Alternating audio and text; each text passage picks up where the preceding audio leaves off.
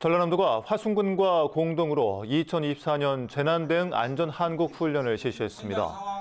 이번 훈련은 다중 밀집 시설인 요양병원 지하 주차장에서 전기차 폭발로 인한 화재가 났다는 복합 재난 상황을 가정해 전남도와 화순군 상황실, 화재 현장을 동시 연결한 통합 연계 훈련으로 실시됐습니다. 전라남도는 지난해 광역자치단체 최초로 통합 연계 훈련을 실시해 행정안전부 안전훈련 우수기관으로 선정되기도 했습니다.